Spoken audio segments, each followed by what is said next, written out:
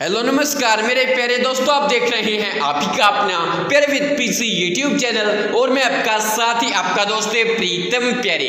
दोस्तों, परिवार पहचान पत्र, यानी फैमिली आईडी की साइट पर बड़ा धमाका हो चुका है, बड़ी अपडेट आ चुकी है। अब आप परिवार पहचान पत्र की साइट के माध्यम से अपना पेमेंट रिकॉर्ड चेक कर सकते हैं। तो चलिए दोस्तों वीडियो को शुरू करते हैं और फैमिली आईडी की वेबसाइट पर जो नया पेमेंट का ऑप्शन जोड़ा गया है, उसके बारे में देते हैं आपको संपूर्ण जानकारी। तो दोस्तों, आपको तो पता ही है कि अगर आप सीपीएलओ हैं एलसीएलओ हैं, या फिर लोकल ऑपरेटर हैं, अगर आपके पास इनकम वेरिफिकेशन की आईडी है, या फिर और वेरिफिकेशन आप करते हैं सीपीएलओ और एलसीएलओ को अनेक प्रकार की वेरिफिकेशन करनी पड़ती हैं। सीपीएलओ को ज़्यादा वेरिफिकेशन कंप्लीट करनी पड़ती हैं। तो दोस्तों, उनको उस चीज़ का कमीशन दिया जाता है, यानी कि आपकी पेमेंट जारी की जाती है। और अब उस पेमेंट का रिकॉर्ड आप परिवार पहचान पत्र की वेबसाइट पर जाकर कैंप लॉगिन या फिर मोबाइल लॉगिन करके, यानी मोबाइल लॉगिन वाला जो ऑप्शन है या कैंप लॉगिन वाला जो ऑप्शन है,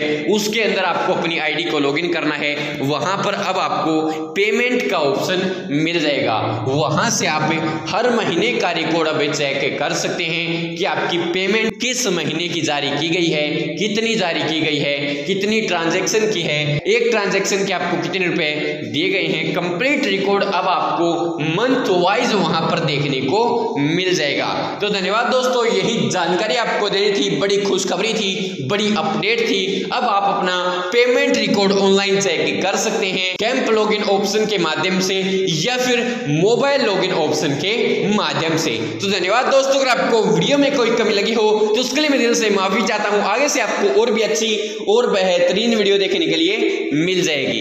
दोस्तों, अगर आपको वीडियो पसंद आई हो तो वीडियो को लाइक करना शेयर करना चैनल को सब्सक्राइब करके घंटे के बटन को दबा देना, ताकि जो भी मैं वीडियो डालूं, उसका मैसेज या नोटिफिकेशन आप तक पहुँच पाए। हर वीडियो को आप देख पाए। कोई भी नहीं और अच्छी जानकारी आपसे मिस न हो। तो धन्यवाद दोस्तों। जय हिंद, जय भारत, जय हरियाणा, जय जवान जंक्शन धन्यवाद मेरे प्यारे दोस्तों।